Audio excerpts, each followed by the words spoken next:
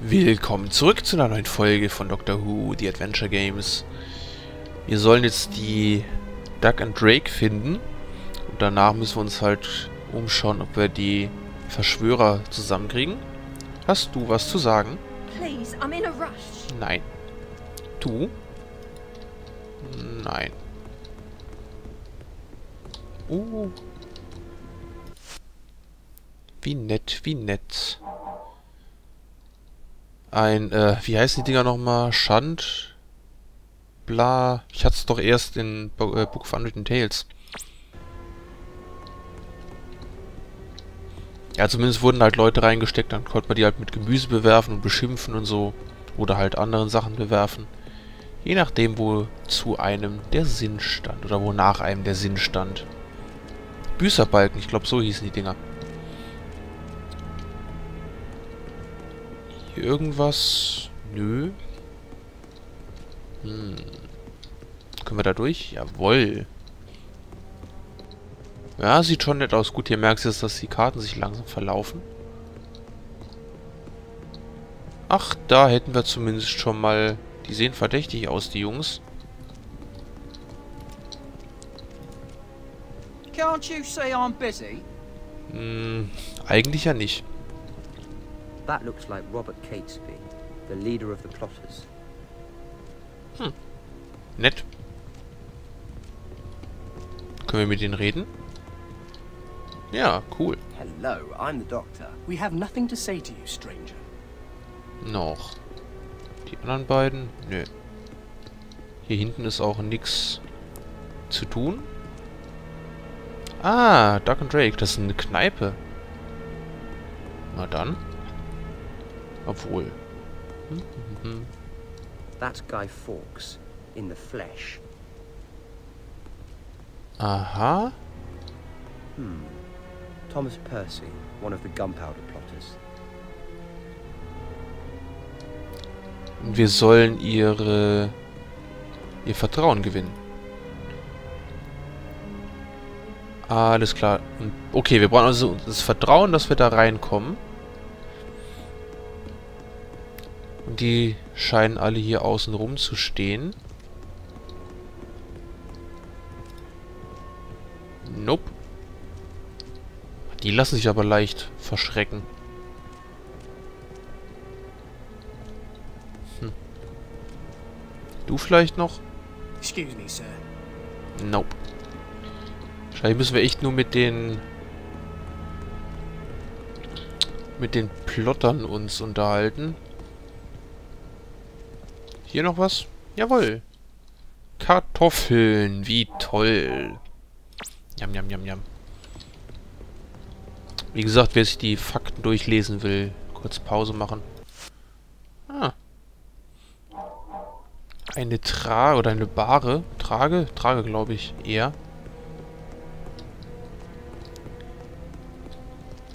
Da geht's erstmal nicht weiter. Okay, dann werden wir mal die Leute abklappern. Hm, Schade, mit denen können wir jetzt nicht mehr reden. Hier wir die ganze Zeit hin und her scheuchen können. Wäre ja auch nicht verkehrt. So, Jungs, dann. Hallo, Percy. Hello, I'm the doctor. Our business is of no concern to you, stranger. Ja, vielleicht zeigen wir dir mal unser Psychic Paper. Hello, I'm the doctor.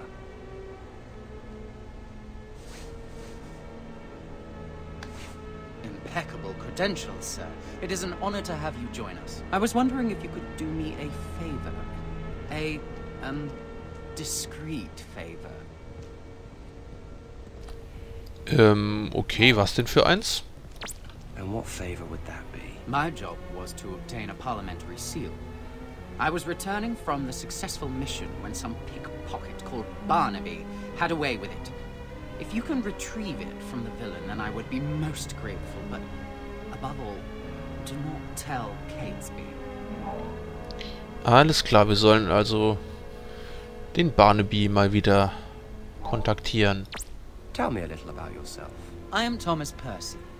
I have been many things in my time, a soldier and adventurer. Indeed, I even played my part in seating the Scottish king on our English throne. Then why are you part of the plan to kill him? Because James has reneged on his promises of tolerance towards the Catholics. I told Catesby a year ago I would kill the king with my own bare hands if I had the chance. He asked me to bide my time, because he has a plan. Coole Sache. Und äh, was für ein Plan? So tell me about your plan. If you require detail, you should speak to Catesby. I do not concern myself with the minutiae of plans. I put my faith in God. Ja, ja. Da ist er richtig, der Glaube. So, die Herren. Hello, I'm the doctor. welcome, brother, welcome. A brother of the true faith. How is King Philip? Oh, he's in fine form. Always got a lovely tan. It's all that Spanish sun, I suppose, and the oranges and the paella. He does love his paella. Anyway, glad to be of service, Guido. I can call you that, can't I? Sir, the timing of your arrival is good fortune itself, for the clock ticks, and there is a task at hand that requires one such as yourself. Okay, um, was denn? And what task did you have in mind? In a fit of healthy paranoia, believing I might be under suspicion by the King's men, I disposed of a reel of fuse wire over the parapet of the bridge. I heard no splash, so I believe it landed on the supports and so may be lodged there. If indeed I am being watched, then it would incriminate me and expose our entire endeavor, if I were seen to fetch it. But should you, good doctor, make your way beneath the bridge and retrieve the fuse wire, our mission to remove the king will be safeguarded, and I would be eternally grateful. Alles klar. Have you found my fuse wire? Noch nicht, machen wir später. Ähm, erstmal ein bisschen was von dir erzählen, bitte. I was just wondering, how did a chap like you get mixed up in a plot to remove the King of England? I was originally a son of York. Both my parents were Protestant, devoted worshippers in the English church. Then how come you're on the side of the Catholics? My mother's family were Catholics, and when my father died, she married again. A Catholic. I converted to the faith of my mother's family and left for Europe, where I fought for Spain against the Dutch Protestants. That was where I learned the craft of gunpowder. Hmm. Und wie sieht es mit den Kameraden aus? Tell me about the other conspirators. We are a gathering of loyal Catholics from all walks of life. Robert Catesby is the instigator of the plan, and each of us has their role to play. Ja, zum Beispiel. Was hast du denn zu tun? So that's your part of the plot. You're the explosives expert. I am just a simple soldier, Doctor. I will set the fuse below Parliament and light it. Und äh, warum? But don't you think murdering the king is going a bit far? This is not murder, this is the work of God. We are God's true soldiers in this endeavor. The Protestant monarchy and people of England have been condemning themselves to hellfire. What I do, I do for the good of the nation and the souls of our people. Das klingt doch sehr vertrauenserweckend. Okay. Ähm, da gehen wir später runter. Ich will erst nochmal hier mit dem Chef reden. Einmal mit Paper. Hello, I'm the doctor.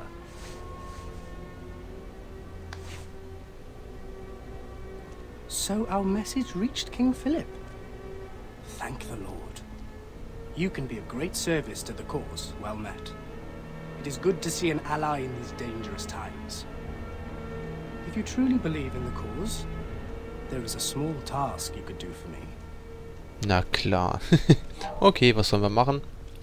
What do you want me to do? Dealing with Parliament is only the first part of our plan. At the same time, we must secure a new monarch to place upon the throne of England. In order to achieve this, I need you to find me a sleeping draft. Ach, das war doch das mit den, ähm, diese komischen Blumen, wo, wo Amy schon meinte, ihr wird irgendwie, oder sie wird davon schläfrig. Tell me a little about yourself. There's little to tell. I was born a Catholic. I have known all my life the Protestant intolerance of those who worship in the true church. Four years ago, I stood alongside the Earl of Essex in his rebellion against Queen Elizabeth. The rebellion was a failure. What happened to you? I was imprisoned and fined 4,000 marks. At which time I was forced to sell my estate. I have been preparing for the removal of the Protestant monarch ever since. Wie praktisch, wie praktisch. Okay, wie ist der Plan? And what is the plan? On the morrow, the heretic James and his lackeys will, by the grace of God, be sent to their maker via several hundred pounds of powder that shall be lit when he arrives to open that den of vipers he calls a parliament. At the same time, the rest of us will ride for the Midlands, where we shall kidnap the Princess Elizabeth and proclaim her as our new Catholic queen. On hearing this, the hidden and oppressed Catholics shall rise up and flock to our banner. Without its leaders, the Protestant will be cast down. Macht ja Sinn. Okay, ähm, welche Rolle hast du dabei? So you're numero uno among the plotters, is that right? I am the leader of this great venture. It was I who brought these like-minded fellows together, and it is I who drew up the plan.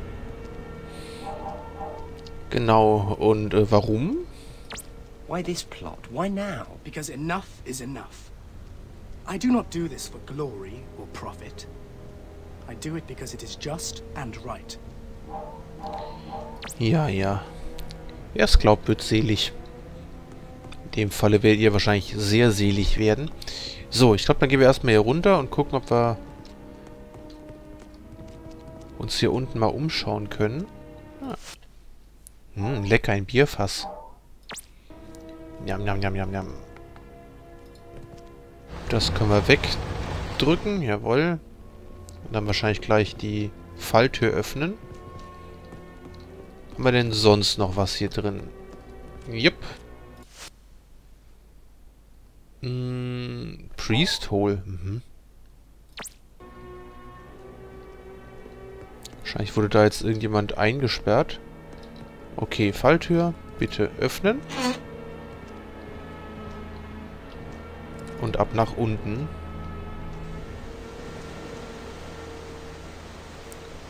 So, dann schauen wir doch mal, ob wir hier unten fündig werden. Ah, ist doch größer, als ich gedacht habe. Können wir da drüber klettern? Nee.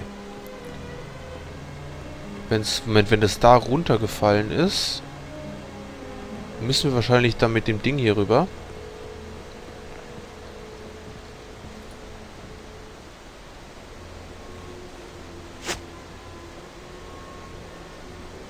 Okay, das hätten wir gerade...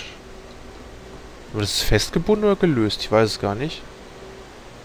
Ja, etwas aufpassen ist gar nicht so verkehrt. Ah, okay, hier könnten wir rüber.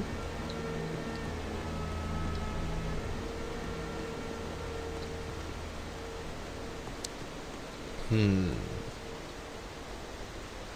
Okay, da... Sollten wir nicht rüber, weil sonst das Ding zusammenkracht.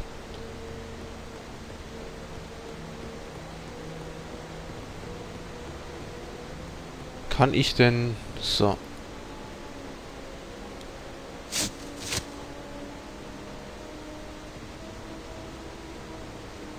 Genau so hatte ich das eigentlich vor. Dankeschön. So, jetzt können wir... Können wir nämlich hier rüber.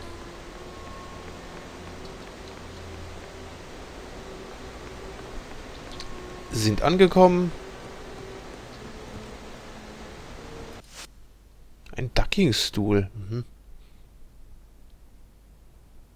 Ach, ich glaube, das sind die Dinger, die ähm, gibt es ja teilweise auf Jahrmärkten, wo dann äh, Leute halt mit dem Ding, also mit dem Stuhl ins Wasser geschmissen werden. Da war es halt jetzt etwas ernster. Super, jetzt haben wir schon mal das Ding aufgenommen. Wie gesagt, hier kommen wir ja auch nicht weiter. Ich gucke mal, ob da hinten noch irgendwas Interessantes ist. Na? Nö. Okay, dann gehen wir wieder zurück. Und haben dann schon mal eine Aufgabe erfüllt. Ich schätze mal, wir müssen alle drei ähm, Aufgaben machen. Hep. Dass wir dann rein dürfen.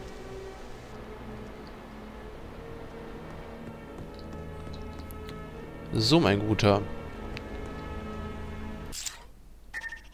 Bitteschön. Here you go, Guido, your fuse wire.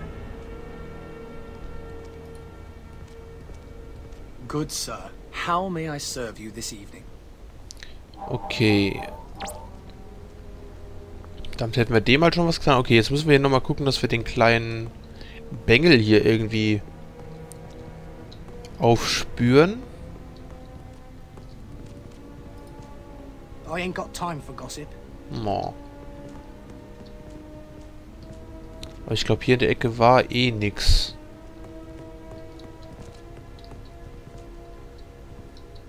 Mit der können wir auch nicht reden. Okay, können wir jetzt eigentlich... können wir jetzt eigentlich hier irgendwo weiter? Nee. Guck ich, ob ich da hinten wieder zurück kann.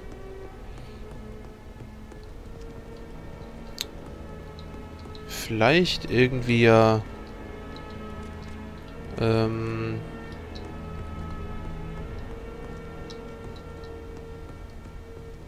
Vielleicht nochmal in die alten Gebiete zurück.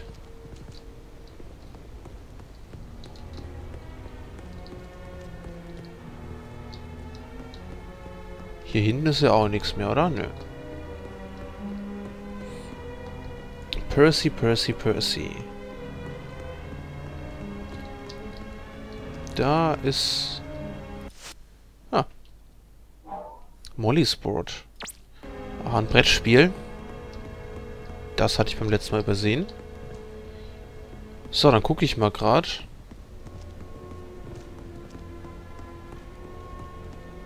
Ich schätze, wir müssen hier wieder raus.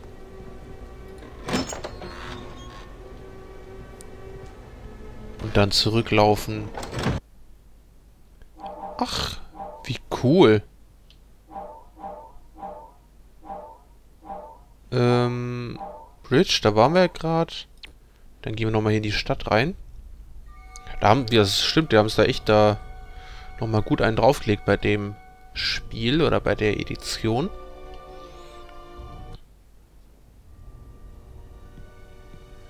Genau, hier wollte ich hin.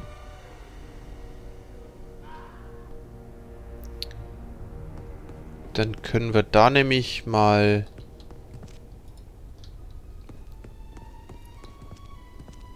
Good evening, sir.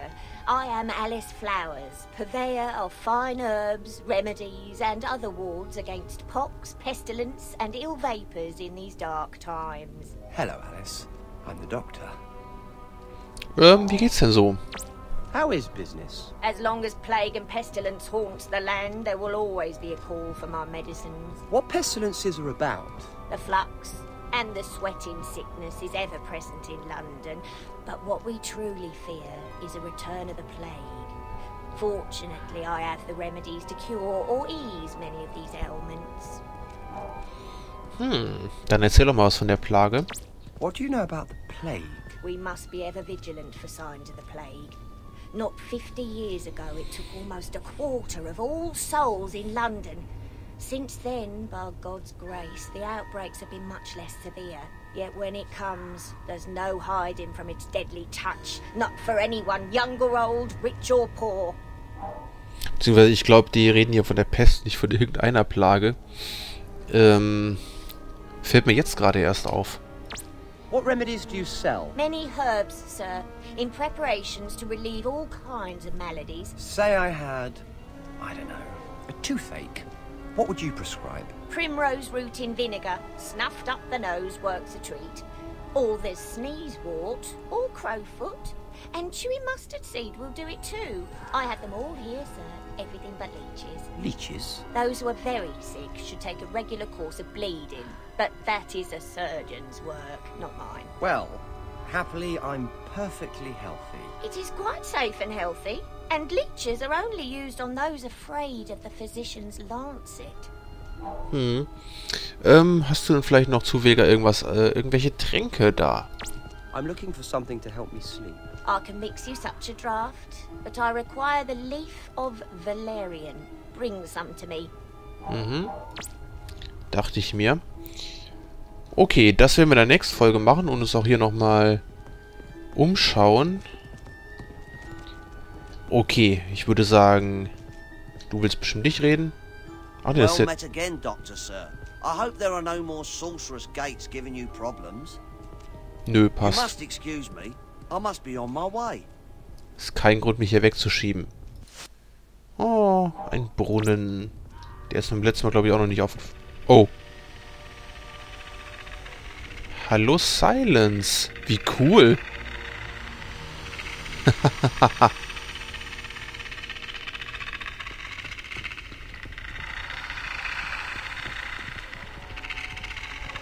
Das ist echt cool. Hatte ich jetzt nicht mit gerechnet. Und weg ist er. Alles klar. Also, vielen Dank fürs Zuschauen an der Stelle. Hoffe, ihr hattet Spaß und seid beim nächsten Mal wieder mit dabei. Bis dahin. Ciao, ciao.